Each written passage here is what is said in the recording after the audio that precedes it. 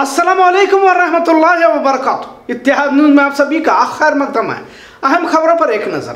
कर्नाटक हुकूमत की जानिब से जो भी स्कीमों का ऐलान किया गया था, उस पर अमल ज़रूर किया जा रहा है। खासकर जिस स्कीम की चर्चा फ़िलहाल हो रही है वो है महिलाओं के लिए मुफ़्त में बस का सफ़र। पूरे कर्नाटक में ऑर्डिनरी बस से कहीं पर भी सफ़र कर सकती है। खातिनों को मज़बूत बनाने के लिए और खासकर गरीब तबका या फिर नौकरी करने वाली महिलाओं के लिए इस योजना का ऐलान किया गया था। खातिनों के लिए मुफ़्त बस सफ़र। अब कुछ जगहों के लिए नया सरदर्द भी बनता जा रहा है। औरतों की भीड़ कंडक्टर के लिए मुश्किल तो हो ही रही है, लेकिन बस में बढ़ती भीड़, कई बार औरतों के झगड़े की वजह भी देखी जा रही है। आप देख सकते हैं स्क्रीन पर कि किस तरह भीड़ की वजह से टिकट लेने के लिए सीट पर ही कंडक्टर को खड़ा होना पड़ रहा है। भारत एक घनी आबादी वाला मुल्क है। योजनाओं का फ़ायदा उठाने की बजाय उसे मसला बनाने की आदत पहले से ही देखी जाती रही है। वैसे भीड़ शायद कुछ दिन और रह सकती है, ऐसा कहा जा रहा है, लेकिन जब मुफ़्त सफ़र की सहूलतें हैं तो कोई भी यह ज़रूर सोच सकता है कि रुपए देकर जाने से मुफ्ती सफ़र कैसा रहेगा। और इसी तरह का तबका बड़ा कसरत से पाया जाता रहा है। खासकर महिलाओं में कॉस्ट कटिंग की आदत भी देखी जाती है। लिहाजा, भले ऑर्डनरी बस का इंतज़ार ही क्यों ना करना पड़े, पर सफ़र तो मुफ़्त ही होगा की नियत घर से निकलते वक्त करने वाली महिलाएँ भी पाई जाती है। और जब हुकूमत ने मुफ़्त रखा ही है तो फिर इसका फ़ायदा भी क्यों ना उठाया जाए? लिहाजा कांग्रेस ने अच्छा इकदाम तो किया है, पर सही नज्म जब्त के साथ इस पर अमल किया जाए तो और भी बेहतर तरीके से तमाम लोग इस योजना का फ़ायदा उठा सकते हैं। लेकिन एक पहलू ये भी देखने को मिल रहा है कि भीड़ कुछ जगहों पर ज़्यादा हो रही है, कई जगहों पर खुद कंडक्टर ही को जगह नहीं मिल रही। कुछ जगहों पर इसमें भी चोरी की वारदातें अंजाम देने की बात सुनी जा रही है। महिला सबलीकरण वुमन एम्पावरमेंट के तौर पर इस योजना का ऐलान और अमल भी किया जा रहा है, लेकिन कुछ अच्छे, कुछ बुरे तजुर्बात भी हासिल होने की बातें सामने आ रही है। कुछ औरतों को बिला वजह झगड़ने की आदत होती है तो कुछ औरतें किसी तरह की बहस से बचने की कोशिश भी करती है। लिहाजा यहाँ भी मसल पावर वाले किसी तरह धकेल कर आवाज़ करके आगे जाकर सीटों पर कब्जा कर लेती है। मजबूर, माजूर, हामिला औरतों को आगे बढ़कर सीट देने की ज़रूरत है,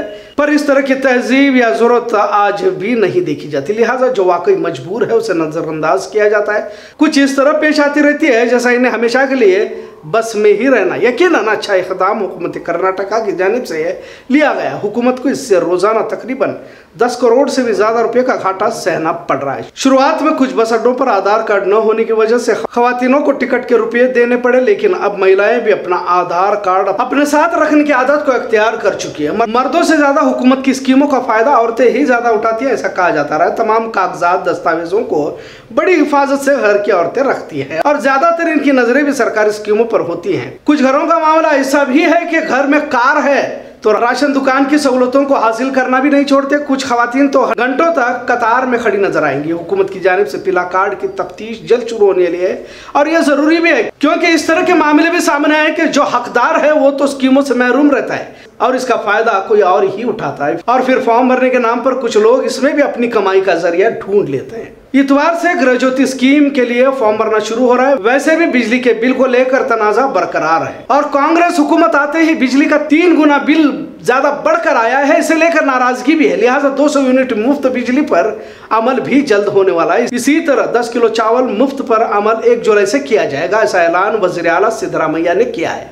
और साथ में मोदी हुकूमत इसमें रुकावट पैदा करने की कोशिश कर रही है, ऐसा कहा है। कर्नाटक में दो लाख से जायद मेट्रिक टन चावल की ज़रूरत होने की बात मरकजी हुकूमत को बताया गया है। लेकिन मरकजी हुकूमत ने इनकार किया है, ऐसा कहा जा रहा है। फ़िलहाल सात लाख मेट्रिक टन चावल मौजूद होने की इतला हासिल हुई है। सिद्धरामैया ने आगे बताया कि इन तमाम स्कीमों से कांग्रेस को सियासी तौर पर फ़ायदा होगा का डर मोदी सरकार को है। मतलब भाजपा हुकूमत गरीबों की मुखालफत में है, ऐसा भी कहा गया। सरकार की जानब से मुफ़्त स्कीमों का फ़ायदा उठाने के लिए आवाम कोशिश में लगी हुई है। कईयों को कागजात समझ में नहीं आते, लिहाजा कुछ एजेंट्स भी इसका फ़ायदा उठाने की फिराक में है। इनकम कास्ट सर्टिफिकेट की ज़रूरत नहीं, लेकिन कुछ लोग अफवाहों को फ़ायदा कर आवाम को गुमराह करते हुए भी देखने को मिल रहा है। अब दो हज़ार रुपए घर के अहम खातून को मिलने वाले हैं, इसलिए बेलगाम वन में ऑनलाइन नाम दर्ज करने के लिए बैंक अकाउंट को आधार लिंक है या नहीं देखने के लिए घंटों कतार में खड़ा रहना पड़ रहा है। कई ग्राहक एक ही वक्त में आधार वेबसाइट का इस्तेमाल करने से सर्वर डाउन भी हो रहा है। इसी तरह सेवा सिंधु ऐप की कैफियत है, लिहाजा आवाम को घंटों इंतज़ार करना पड़ रहा है। कर्नाटक हुकूमत की सहूलतों पर मुकम्मल अमल होने के लिए और भी वक्त लग सकता है। लिहाजा मुफ़्त बस सफ़र से लेकर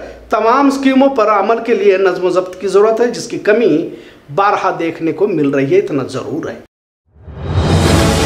कुछ मामले शिद्दत से सामने आते हैं तो कुछ का तस्करा होता है, कुछ मामलों की चर्चा भी नहीं होती। लिहाजा, कक्तिवेस के गवर्नमेंट पॉलिटेक्निक कॉलेज में मुस्लिम लड़की के साथ कॉलेज ही के मुलाजमीन ने ज़्यादा करने की कोशिश की वारदात पेश आई है।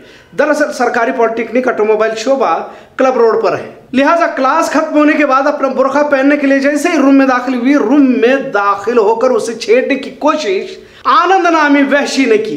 किसी तरह लड़की घबराकर चीखते बाहर आई, जिसके बाद कॉलेज के दिगर लोगों ने उस आनंद प्यून को पकड़ लिया और थोड़ी पिटाई भी की। इतला के मुताबिक इससे पहले भी इस तरह की वारदात को इस मुलजिम ने अंजाम दिया है। उस लड़की ने बड़ी हिम्मत से खड़े बाज़ार पुलिस थाने में फरियाद दर्ज करने की कोशिश की, लेकिन क्लब रोड एपीएमसी थाने के हाथे में आता है तो आखिर में मामले को यहाँ दर्ज किया गया। सरकारी पॉलिटेक्निक कॉलेज के उस मुलाजिम आनंद को गिरफ़्तार कर लिया गया। अफसोस तो आखिर में इस बात का ही होता है की लड़की किसी और समाज से होती और मुजरिम अकलीती तबके का होता तो कितना बड़ा बवाल खड़ा कर दिया जाता। लेकिन इस खबर को ना तो किसी न्यूज़ चैनल ने दिखाने की कोशिश की और ना ही किसी अखबार ने इसे शाया करना ज़रूरी समझा। ज़रूरत है हर उस जाति के खिलाफ आवाज़ उठाने की। जुल्म सहकर खामोश रहना भी एक तरह का जुर्म ही है, इतना ज़रूर। जून का महीना भी खत्म होने को है, लेकिन बारिश का पता नहीं। बेलगाम शहर को राकस को पानी, जखीरे से पानी की सप्लाई की जाती है। लिहाजा महज आधा फीट ही पानी बाकी होने की बात कही जा रही है। डेड स्टॉक से पानी निकाला जा रहा। आखिर इंसान कितना कुदरत के सामने बेबस और मजबूर है, इसे समझने की ज़रूरत है। एक तरफ़ तूफ़ान से कई गाँव पानी की जद में है तो बेलगाम में पीने के पानी की किल्लत महसूस की जा रही है। उम्मीद यही करते हैं कि अल्लाह रब्बुल इज़्ज़त जल्द आसमान से रहमतों को नाजिल करे। खबरों का सिलसिला यूँ ही चलता रहेगा। देखते रहे इतिहाद शुक्रिया। अल्लाह हाफिज़।